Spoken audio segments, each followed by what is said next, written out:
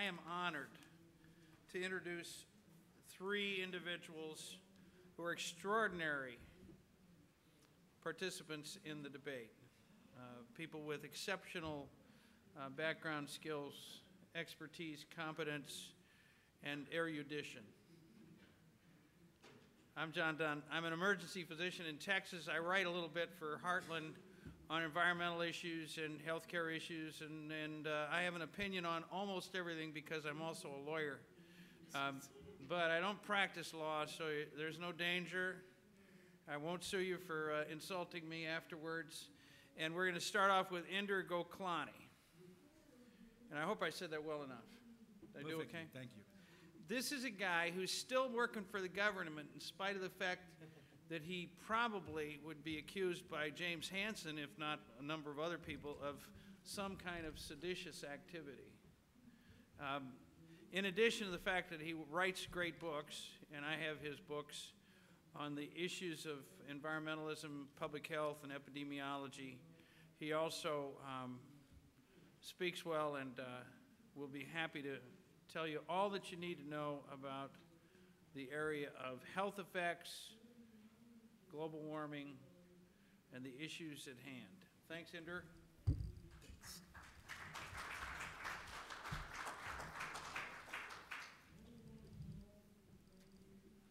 Thank you very much. I have to congratulate Heartland and its co-sponsors for putting this uh, event together. I wish they were a little bit less uh, uh, efficient about this because there really is so much going on. I'd like to be at a couple of other places myself. um, before I start, since I do work for the government, I think it is important that everybody recognizes that uh, the views that I express here are only mine and not necessarily those of the Department of the Interior or any branch of the US governments. That's important. Okay, let's get beyond that.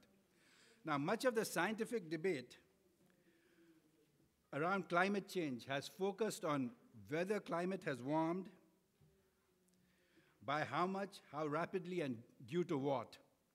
I will sidestep this de debate. Instead, what I'll do is I'll assume that the IPCC's so called consensus view of climate change, that climate change is very likely due to anthropogenic uh, uh, greenhouse gases, is valid. I'll also assume that analyses of the impacts of climate change based on this view and the IPCC's emission scenarios are valid. I'll use the results of impact studies undertaken by proponents of the IPCC view and see exactly where they lead us. I will look at three claims about climate change impacts. First, that human and environmental well-being will be lower in a warmer world, even if we are wealthier. The second claim is that our descendants will be worse off than we are unless we reduce climate change now. And the third claim, which we hear often and repeated over and over again, is that global warming is the world's most important environmental problem. Now, for my analysis, I actually won't, uh, I'll take numbers that have been generated by other people, specifically people who are in very good graces of the IPCC itself. I will use results of something called the fast track assessments, or the FTAs. These are a set of studies sponsored by the British government. The, the results are peer reviewed, and the authors are intimately involved in the writing of the IPCC reports and have been since at least the second, third, and also the fourth assessment. I'll also use the results of the Stern Review on the economics of climate change. This was a 2006 study, also sponsored by the British government. And the Stern Review actually refers quite heavily to the FTA studies, as, as the, uh, do the IPCC documents themselves. My mortality estimates will come from the World Health Organization, and my cost estimates will come from the IPCC itself and the United Nations Millennium Project. So all I'm doing is multiplying and dividing. The real heavy work has been done by somebody else. Okay? And I do this with the notion of finding out exactly what it is that the studies of the proponents of doing something about global warming tell us.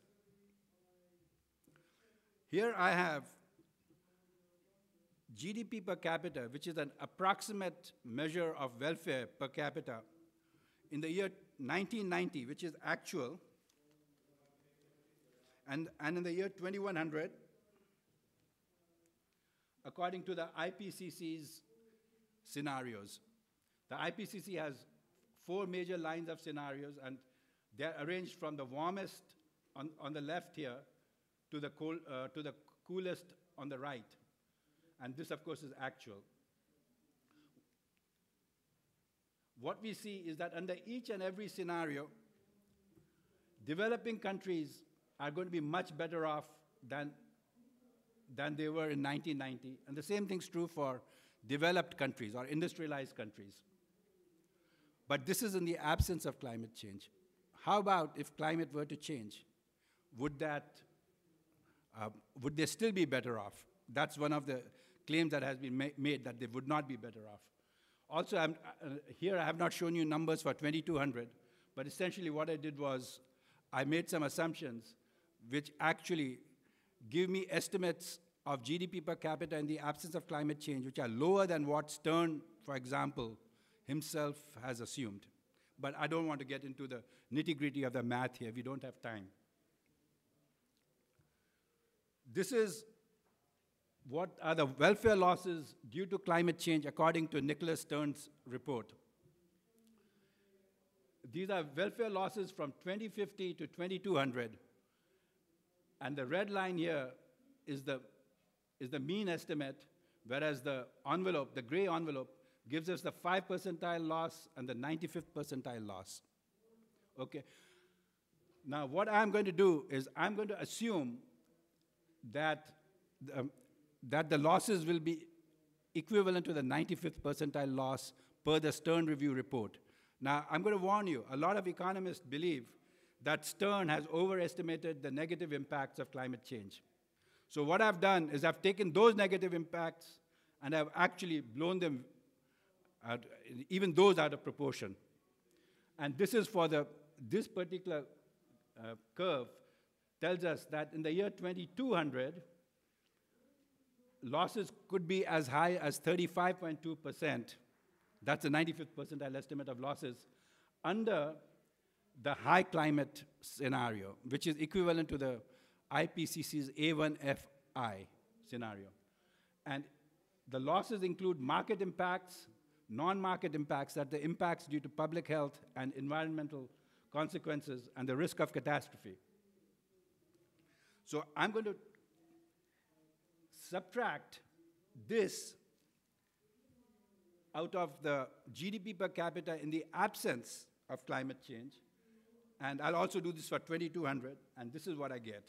I, it looks kind of busy, but I, it's actually, and it's a lot less complicated. What this tells me is that after I account for climate change, despite the fact that I underestimated the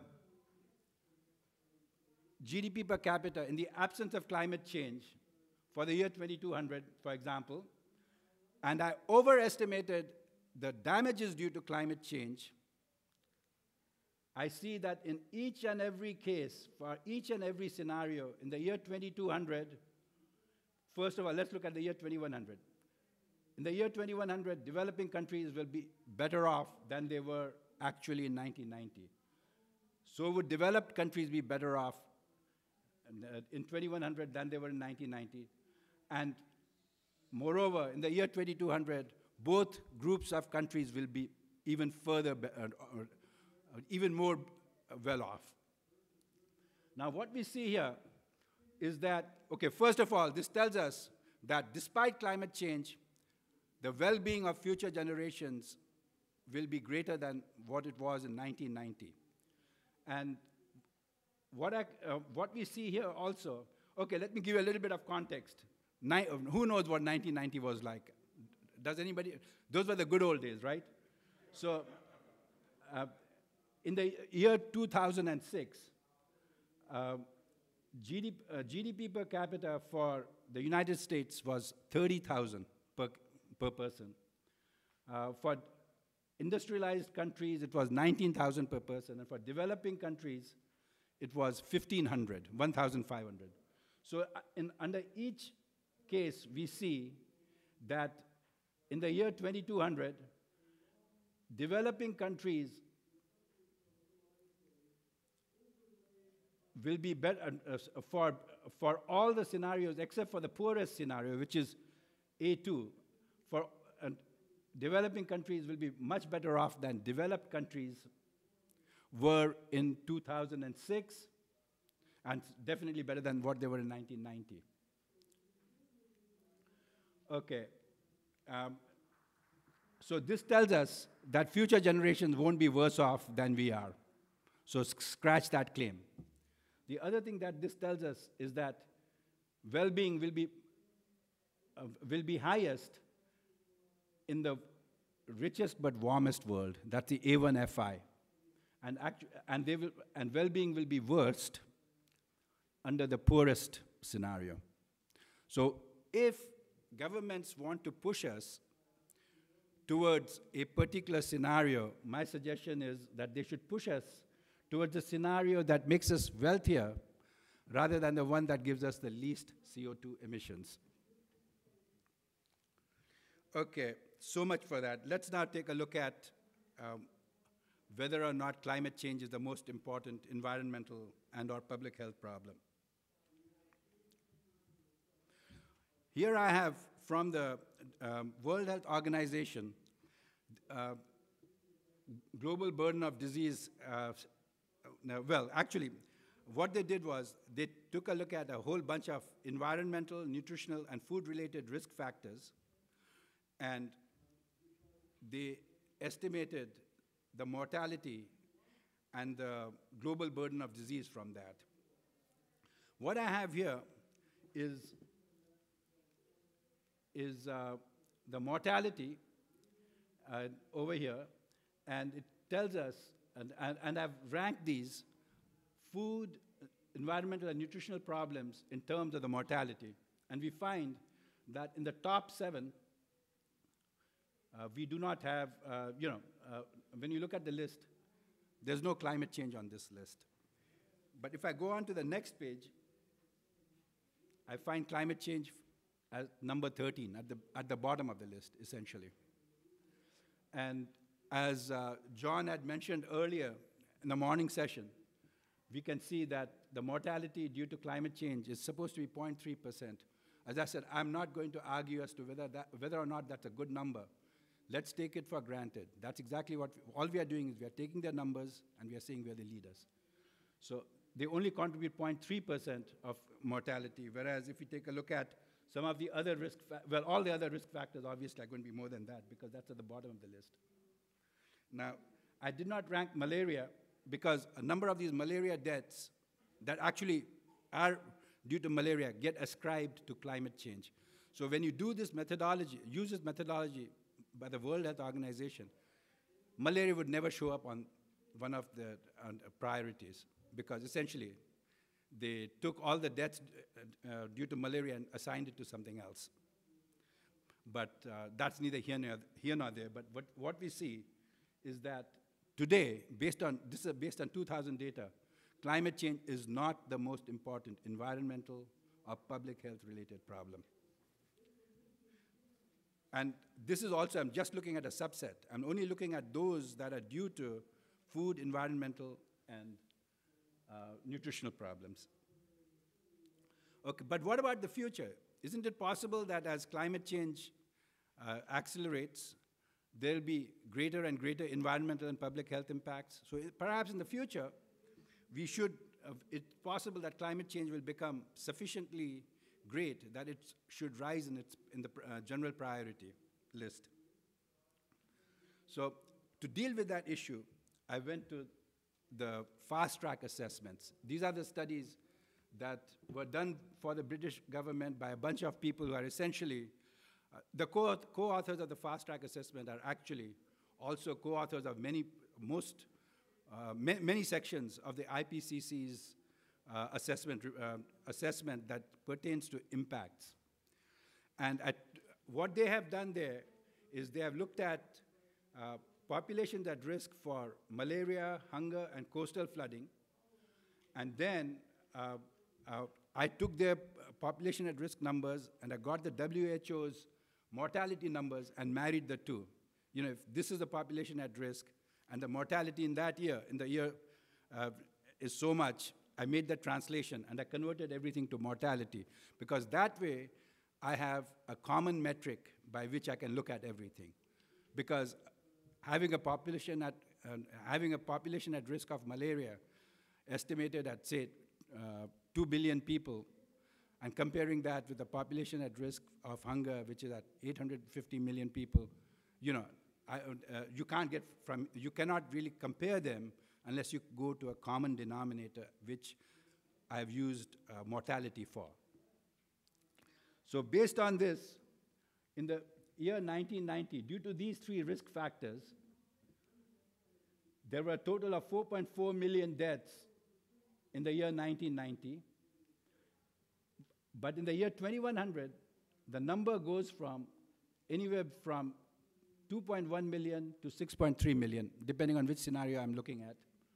But the more important thing is that the red bar here gives me the mortality in the absence of climate change. Then what these folks do is they figure out, uh, they do an analysis into the future, assuming uh, climate doesn't change. Then they impose the carbon dioxide, um, additional carbon dioxide thing onto that, and they estimate climate change, and then they rerun the model for, for a population at risk, which I've converted to mortality. And what, I, what, what is surprising, well, maybe it's not uh, surprising, but what we see is that climate change contributes only a small portion to the total population uh, th th that could be dying from uh, these three risk factors. The share of climate change to the total mortality for these three risk factors varies from somewhere between 4% for this scenario, for B1, for the coolest scenario, to 10% for A1F, uh, FI, the warmest scenario. So this tells me that if climate, cha uh, climate change may be important, but there are other things that are even more so. Let's look at uh, water. With respect to uh, with respect to water, I had no method of going from population at risk to mortality, so I just left it at population at risk. The red bar, in this case, is the total population at risk of water stress. And the, this violet bar is the population at the additional population at risk because of climate change. Notice that these are all below the axis. In other words, the net po uh, population at risk of water stress actually declines because of uh, climate change. This is what the results show. If you read what the IPCC documents tells you, they, you have to read it like a lawyer. What they tell you is the additional population at risk, um, uh, uh, the, uh, the, additional population that, that uh, experiences, that would experience increased water stress. They never tell you about the additional, uh, the, the population that would not experience water stress or whose water stress would decline. So you have to read it like a lawyer. And because if you go into that, you find that in fact, lo and behold, water stress is actually on a net basis relieved by climate change. Now, the reason for this and, uh, is as follows. This is not to say that everybody will uh, uh, get more water. There will be areas that will have less water. But the areas that get less water are less populated than areas that get more water. Particularly South Asia and East Asia will see more water, and Africa will see less. But when you, it so happens that the bulk of the population in the world, more of it is located up in Asia than in Africa. So you get this figure. So what this tells us is that if you're going to do something about climate change, you could actually be worse off because you did something about climate change. Okay. This is, okay, so if you go back again, with respect to uh, public health related issues, mortality and water stress, it doesn't seem to me that climate change is the biggest deal around. Let's look at an environmental indicator. Here I'm looking at cropland. Now, the more cropland we have, the less habitat there is for the rest of nature. Therefore,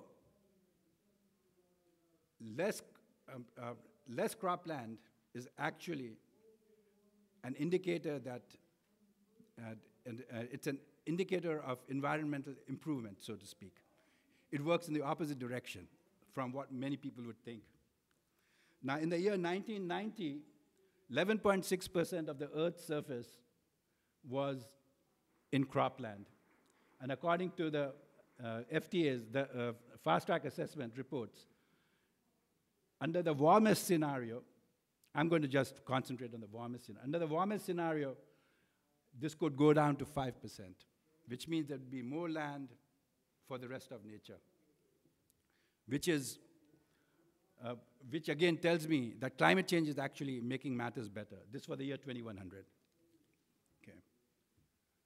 This is for coastal wetlands. For coastal wetlands, we see that uh, cli uh, climate change will reduce the extent of wetlands, but non-climate change related factors will reduce it even further.